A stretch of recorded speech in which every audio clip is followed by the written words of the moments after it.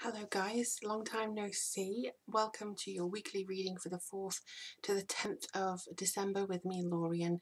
It's a pleasure to bring you these readings. Um, my monthly ones should be done and should be uploaded. Um, but from today until the new year. I'm just going to see how it kind of figures out with the weekly readings since university. Uh, I work at university since that's actually ending now uh, until the new year. So hopefully I'll have time to actually work on some weekly readings um, and also with the full moon readings and stuff like that. So looking like it's going to be a busy December, but I'm prepared to do these weekly readings for you guys. So we're going to be doing the Archangel Oracle deck by Doreen Virtue just to see what kind of information comes through. Now this is a general reading for all signs um, but if you do want a private session with me all you have to do is click on the link in the description box below. It'll take you to my website or if you want a 2018 forecast um, the, it, all the information's on there anyway. And if you do want to email me it's lorientarot at gmail.com. So without further ado let's have a look and see what comes through for you guys. Or for us all really. And you may have noticed I'm wearing my glasses. I always think like I look a little bit like my grandma in these glasses because she used to have very similar frames. But let's have a look. Okay.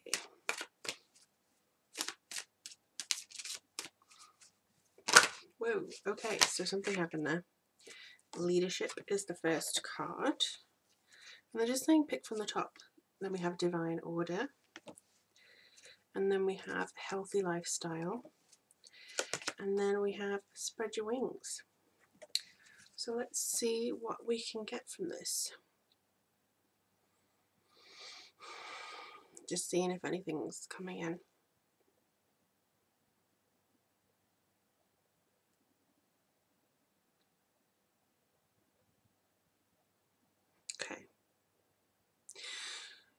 So, because it's kind of like coming to the start of the big holiday season, there's some places already started, um, and the Christmas vibe and things that are happening around this time, some of us are going to be feeling like we are not able to cope or not able to really do much. Um, so it could be that we're not really understanding as to exactly what we're trying to do. Um, it could be that we have like 50,000 presents to buy people or you know we feel stressed because we have no money um, and we have this feeling of you know it is basically gone full commercialized with regards to Christmas um, and we can feel pressure to provide. We can feel pressure to provide the best presents the best things but really from a pagan's perspective um, this is not the right way to go. It should be about the joy of the earth and to be about that kind of um, celebration that the longest night is now done. Sorry, the yeah, the longest night has now done, and now we are now moving into the next cycle, and we can experience this nice holiday with friends and this kind of um, joy that we've survived another year, basically. Um, so that's basically what we should be doing, but instead we're taking out some leadership because we need to control um, the amount of, I think, adverts that we consume and we need to also control our own emotions a little bit. This is for some of you guys who feel extra stressed around the holidays. Try and no, you don't necessarily have to suppress your emotions. That's not what this is. You just control them a little bit. So you basically say, I'm not going to blow up at my child in the middle of Sainsbury's. And that's kind of what you have to do. Okay, I'm not going to shout from the rooftops at this person who just cut in front of me in the bus queue. It's that sort of feeling. So although you may be feeling very fresh, you lead by your example this this week. I'm going to say this month, but yeah, this week. Um, I think it's very positive. Um, what does it actually say? It's a great time for you to assume your leadership power and position and lovingly guide others. So yes, I think this is necessary. Um, you will be guiding a key factor, I think, for um, Christmas holidays, Hanukkah, um, this kind of thing. And I feel like there's going to be a lot of possessions being exchanged, but it's not necessarily gifts if that makes sense. There's going to be a lot of things that are passing between each other, knowledge and um, experiences. So that's that. Divine order. Everything is how it needs to be right now.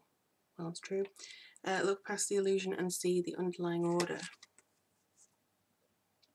I kind of have to agree that we are experiencing at the moment some divine order. Um, but it can make you feel very lost. Uh, so they're getting they're giving me some kind of two different things. So I'm going to diverge. I'm going to say the first one and then the second one. So the first one is where you feel like it's okay. So maybe that didn't work out, or maybe I have too much stuff to do, or maybe I have um, something else that I need to do in the background.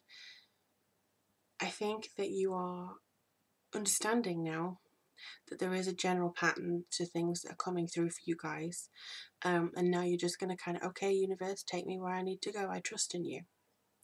Now, for those of us who may want a little bit more control, we may feel lost because something didn't work out or that we didn't, we're not where we expected to be at the end of this year. We're not, we haven't achieved what we expected to achieve at the end of this year. This is because there's still some things that are coming through. So, you know, it may lead into next year, basically. Time is a man made construct, and we all imagine that we're supposed to have done certain things, but everybody's path is different. And this is what this is kind of saying. We all have divine order, and we all have this feeling of, um, oh, we need to do this now, we need to do this now. But we just have to take some moments to be. And for those of us who do want more control, you may not feel comfortable if there's a particular dream or a particular event or a particular need that you really, really want. Say, I really want a family or I really want to get this big job. You may not really feel like handing over that control to the universe because it's not on your schedule. If you know what I mean.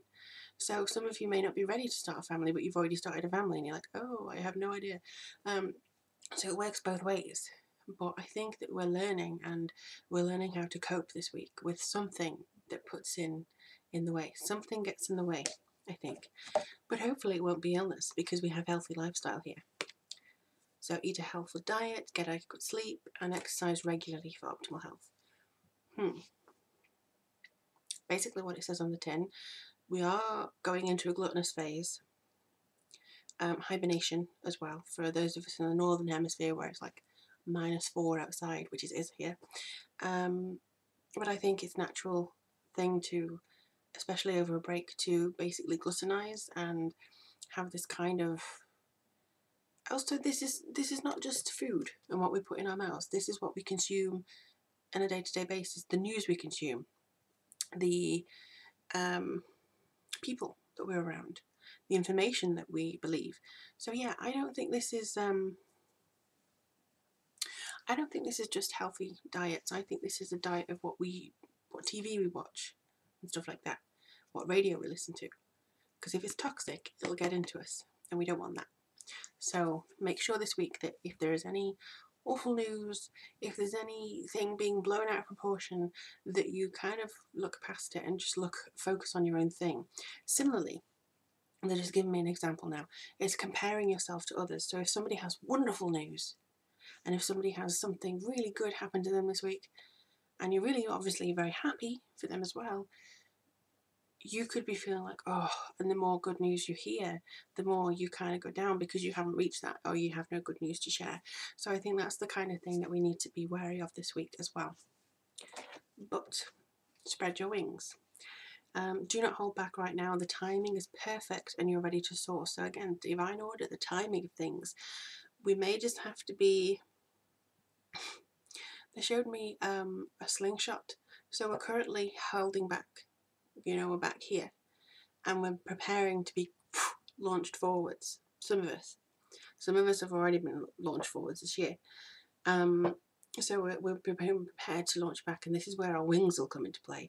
We're earning our wings with every delay, with every thing we look at something and we go, hmm, I'm using my intuition. I don't think this is right. Like this newsreader, I don't think this is right. I have no idea why, but I really do not think this is correct. So this is kind of what we have to do, um, is kind of assembly our own information, But ultimately, I think this is coming through to say, be prepared, 2018 is your year. Go. I actually do have a really good feeling about 2018, and I am going to do the um, 2018 forecasts. Um, I'll probably do them in threes, for instance, water signs in one video, air signs in another, and so so it doesn't get a bit confusing. Um, but I actually do feel good about 2018. This year was supposed to be a breakaway from 2016, which it has been in a big way. We have seen a lot of voices heard, which is good. We've seen a lot of advancement. We've seen a lot of changes, fundamental changes, rip down of systems, um, spreading away and clearing away some of the ick, some of the ick, not all, in order to establish something new in 2018. So I think that this is going to be a very, very good year. Um, some of us will have our own trials, but we'll see what comes through in the general readings. And again, if you do want a personal private session with me for 2018 or just a reading in general, um, you click on the link below or if you want to become a patron of mine, the link there is also available. Um, but I think that's it for this week. So we need to reduce what lies we're consuming. We need to reduce the amount we're, of stress that we're putting on ourselves and just be prepared and cleanse ourselves this month to go forwards. Focus on the quality and not the quantity. I think that's the main message of this week. Um, but let me know how things go for you guys in the comments below. Thank you as always for watching and taking the time to share this journey with me. Um, and it's really nice to kind of go face to face to you, all, to you guys again. Um, so yeah, let me know how things go. Blessed be everybody. And I wish you an absolutely wonderful, wonderful start to December.